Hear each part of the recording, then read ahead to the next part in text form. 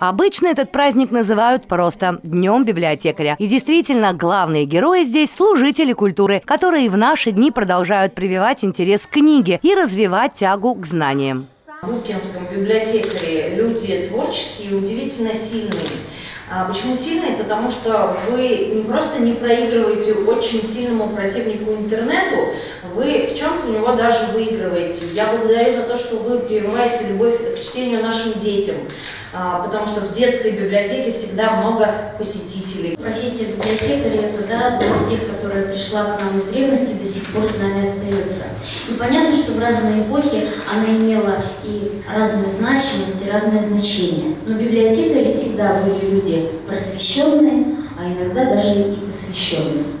Централизованная библиотечная система города сегодня – настоящий культурный, интеллектуальный и образовательный центр. Пространство организовано не просто комфортно, но и с учетом требований современного дизайна. Здесь проводят и квартирники, и литературные гостиные, выставки и другие общественные мероприятия. В наш информационный век роль библиотеки меняется коренным образом. И поэтому даже формат проведения сегодняшнего мероприятия, он тоже принял немного другой, э, другую форму. Современная библиотека, конечно, это очень самодостаточное такое предприятие, много направлений деятельности. Это интернет, и, не знаю, какие-то развлекательные программы, познавательные.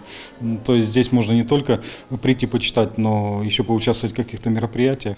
Что и сделали. Прямо на празднике приняли участие в интеллектуальном поединке «Своя игра». Сразились команды читателей и библиотекарей. Ребята, библиотека 400. Как называлась первая печатная книга на напечатал? Не знаете? А вот команда читателей знает. Ответ «Апостол». Книга издана в Москве дьяком Иваном Федоровым во второй половине 16 века. И таких вопросов было много. Счет почти равный. Но в итоге победу одержала команда читателей. Елена Канина, Данила Индюков. Новости Губкинского.